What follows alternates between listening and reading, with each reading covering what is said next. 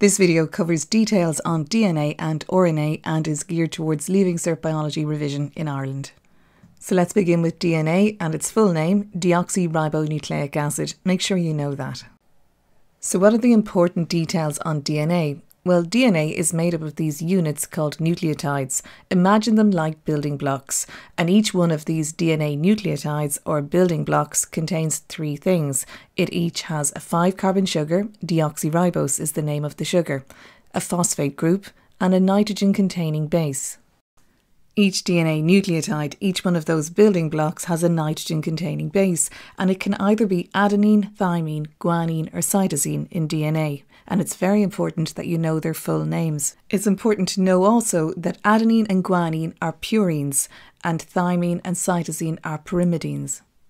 One way of summarising the information is to perhaps make a chart. So, DNA is known as deoxyribonucleic acid. The building blocks of DNA are called nucleotides, and each nucleotide in DNA has a 5 carbon sugar, deoxyribose, a phosphate group, and one of those four nitrogen containing bases.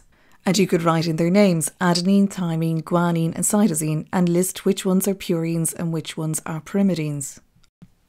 DNA has a very particular shape. It's a double helix. So you've got these two long strands of nucleotides and then they further wrap around into this helical shape. What keeps the two strands of the double helix together? It's hydrogen bonding, and the hydrogen bonds are formed between complementary base pairs. So the adenine base will only ever bond with a thymine base, and they're held together by two hydrogen bonds. And the guanine and cytosine, well, those bases will only ever bond with each other and with three hydrogen bonds. So let's move on to the other nucleic acid, RNA, and know its full name, ribonucleic acid.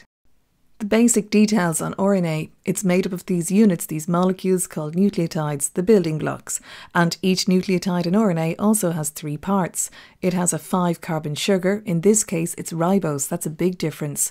It also has a phosphate group, and the nucleotides also have one of four nitrogen containing bases. The bases in RNA are adenine, uracil, cytosine, and guanine, and the big difference is that there is no thymine. Instead of thymine, there is uracil in RNA. So, summarise what you now know about RNA. Its name is ribonucleic acid. The building blocks of RNA are nucleotides.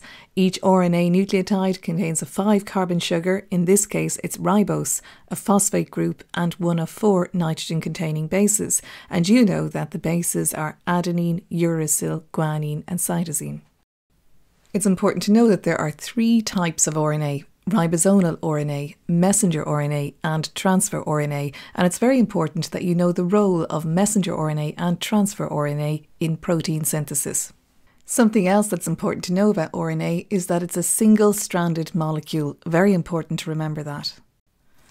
So, what is different between DNA and RNA? Well, firstly, DNA has a 5 carbon sugar called deoxyribose. RNA also has a 5 carbon sugar, but it's ribose, so the two sugars are different. In DNA, there is the base thymine, whereas in RNA, there is the base uracil, there's no thymine. DNA is a double stranded molecule, whereas RNA is single stranded. So that's a short run through on DNA and RNA. Remember, always do past papers and check the official marking schemes and always use your textbook.